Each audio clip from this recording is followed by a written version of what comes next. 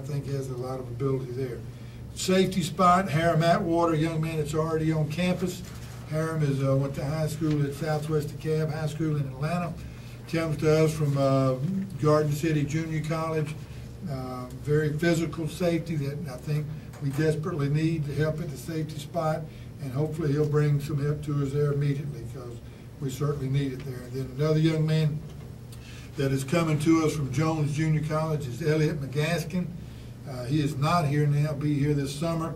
Elliot is out of Mobile, actually went to high school with uh, Frantrell Forest, uh, and uh, another guy that I think will bring a lot to us from a physical aspect. And then the other young man at, at uh, safety spot that we signed is David Connor. He's a teammate and Marvin Burnett at South Panola and Batesville. Again, a physical guy, plays extremely hard, and I'm really excited about getting all three of those guys on this football team. And the defensive end, Derek Slaughter is already on campus. Young man that comes to us out of uh, Coffeyville, Kansas. Um, you know, a physical guy that has a tremendous speed for a defensive end and I think will give us a give us a lot of speed off the corner as, as, a, as a pass rush guy. And then Amos Draper, a young man out of Tanner High School, I think is a very physical football player. Very impressed with him watching him on film. Uh, the, the physical way he plays the football game, and we're excited about getting Amos in our program also. And then Andrew Mahon from uh, Dallas County High School in Selma. Um, very athletic, a lot like Derek Slaughter, not as uh, old and mature as Derek right now at this point, but a very athletic guy, tremendous speed, plays with great passion, and I think, uh, you know, will be a tremendous asset for us. Again, too, I think he's a guy that has a lot of upside that, that will be great uh, for us in the future. And then the last one is Justin Wells, um, young man that comes to us out of uh, junior college uh, in Kansas, I think at Hutchin, Hutchinson Junior College. He's uh, from actually from Huntsville, Alabama. Uh, physical defensive tackle, good speed, good athleticism for a defensive lineman, and um, you know we we're excited about having him. And then you know we also I mentioned you know we're looking for a uh, offensive lineman receiver, and we're also still in the process of evaluating and looking at and in hopes of signing a kicker uh, if we can find the right one. I think that's something that's very important that you know in our in our you know, evaluation and process of signing guys, uh, you know, you want to sign, you know, your numbers, but I also want to be sure and be conscious if, uh, you know, if we sign them, I want to be sure they can play for us. And so I don't want to just sign someone just to be signing them. And so we're still evaluating, uh, you know, several kickers to hopefully be able to come up with one that, that we can sign here in the near future. Any questions? You you used the word speed quite a few times on these guys here. Was that something that, that you targeted and felt like you needed to upgrade, or, or did it just kind of happen? No, I think you, you, you know, speed is one of the first things you look for, you know, whenever you recruit someone. Obviously, you want them to be good football players, but, you know, I'd rather take a guy that maybe is a little undersized or maybe not quite as developed yet as, as he should be, you know, but, uh, the speed factor, I think, is always important, uh, because if- obviously the faster you get there, the more you make happen, whether you're on offense or defense. So, uh, uh, so speed is something that we've all, we're always looking to upgrade and, and one, uh, uh, area that I think is always very important.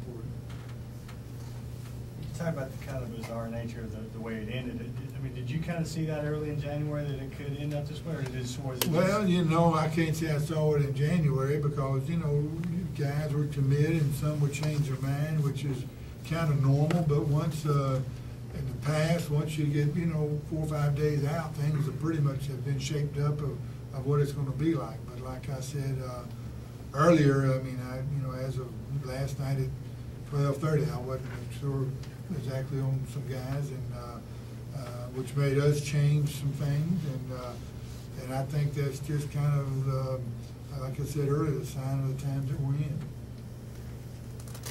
Uh, Position-wise, what do you feel your, uh, your biggest need was going into, uh, Well, without a doubt, linebacker and safety spot. We, uh, we've done, we did a good job there of, of signing five linebackers and three safeties, and I think all of them are excellent football players, and all of them should have a chance to come in and help us this year.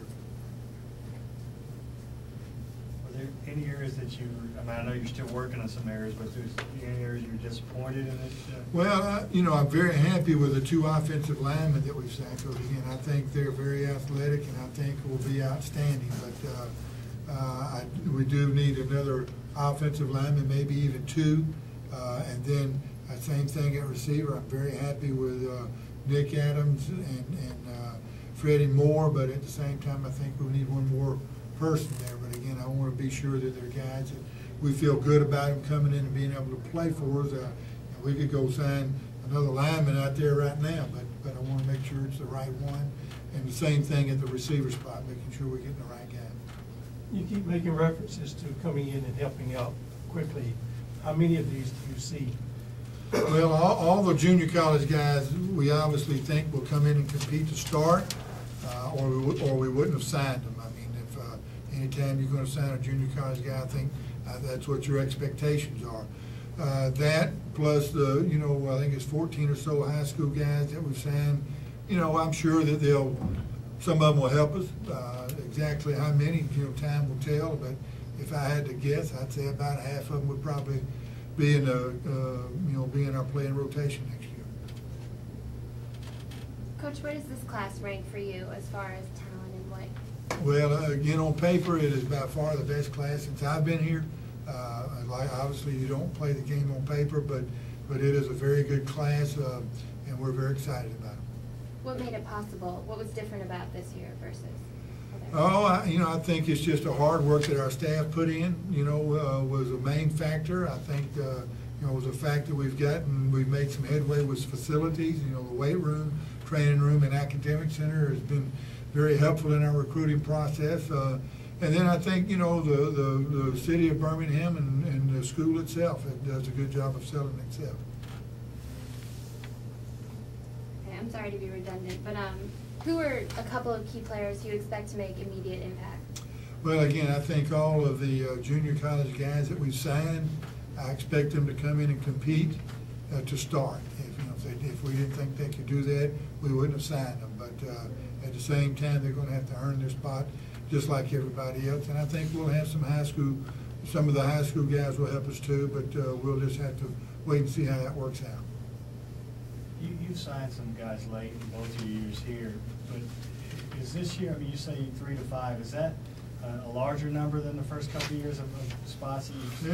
Yeah, like- well, I, I think I remember correctly, last year, I think we had two, had two spots left, I don't, I can't say that I, I remember that a hundred percent, but, uh, you know, we, we, you know, we worked hard to try to, to get the people we wanted, uh, we didn't get them all, obviously, so, uh, now we gotta go back and, and regroup and, and try to find somebody that, that helps, that we, that we think can come in and help us, and again, I, I, I wanna be very diligent and very, uh, um, in the process of, of evaluating them and not just go sign somebody just to have another body or name, you know, so, so we'll take our time and, and, uh, see how this thing plays out.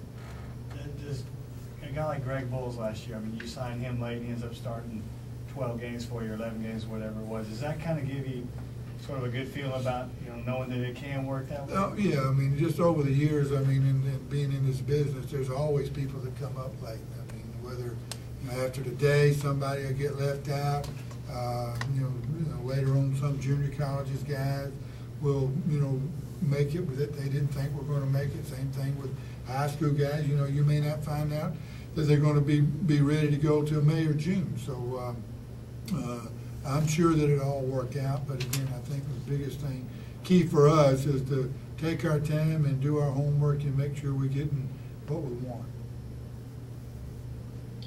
Uh, were any of the guys on your, uh, your team from last year, were they instrumental in getting, getting some of these guys in? Well, I think it's always, it's like I told uh, uh, the team this year and every year, we talk about that they're our best recruiters. And, and, uh, you know, we can talk to we're blue in the face as coaches and, you know, the recruits or parents are listening, I'm sure, but when it's coming from the players, it's a lot more meaningful. And so, uh, you know, for any time to be, anytime you're successful recruiting, your current players have to be a big part of it.